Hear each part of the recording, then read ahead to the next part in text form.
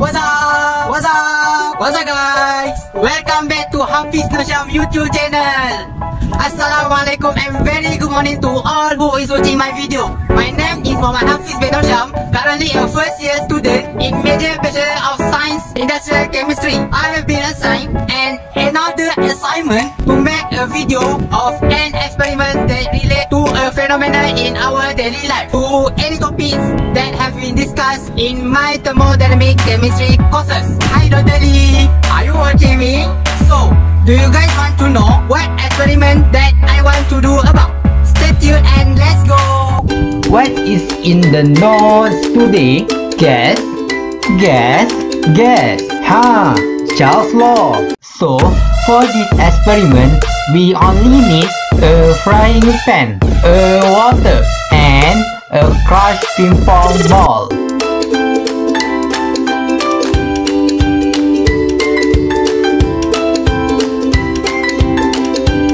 Other than boil the water, we also can direct put the ball into the readily hot water. Alright, let's wait after a few minutes and see the results later. So, here we go. Look, the ball expands and back to its shape. Wow! But why? Why?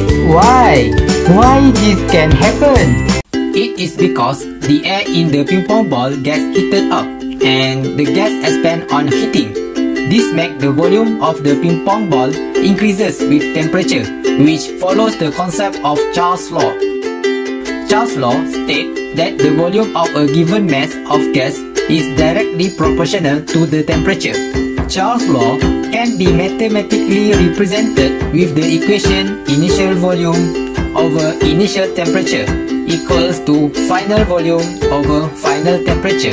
Therefore, the increase in the temperature of water just now will increase the volume of the gas, which in turn increase the volume of the ball and it push the crush part out, getting the ball back into the shape. Alright, so to all the viewers, this is how chemistry thinks, which is just law, relates to our daily life. I hope it can give a clear idea and benefit to all. Thank you for watching guys. See you in the next video. Please give me a like and subscribe now. Chemistry for all. Assalamualaikum and goodbye. 애들 그리 재미없어 아 그건 나도 마찬가지